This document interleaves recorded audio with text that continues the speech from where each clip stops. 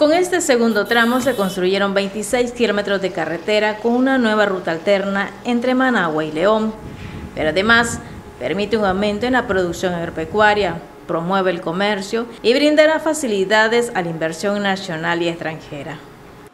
De los 287 kilómetros que nuestro buen gobierno ha construido, ha reconstruido y ha ampliado a cuatro carriles en el departamento de Managua, 63 kilómetros corresponden pues a este importante tramo.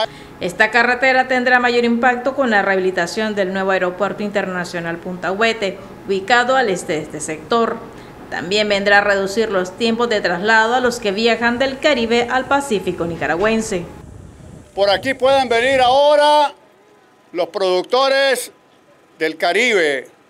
Pueden venir ahora los productores de chontales, de Huaco, y trasladar sus productos directamente hacia los puertos más importantes del Pacífico de nuestro país, ahorrándose muchísimo tiempo y muchísimos kilómetros de distancia sin pasar por, el, por la capital, por Managua. Para la población de la zona también tendrá un impacto positivo, más ahora con la llegada del invierno, ya que antes quedaban incomunicados. Entre el tramo de San Francisco Libre a la carretera de los Zarzales, tenemos unos puentes totalmente elegantísimos, buenísimos, porque aquí era una pasada que en el invierno totalmente aquí no había pasada entre la, la tercera región y la segunda región. Dando oportunidades a nuestros protagonistas, desde el más pequeño hasta el más grande, a nuestros productores, ganaderos y a nuestros transportistas, a los usuarios, en fin, a todos, todos salimos beneficiados. Esta carretera viene a ser un alivio a nuestro municipio. En esta obra se construyeron 34 puentes,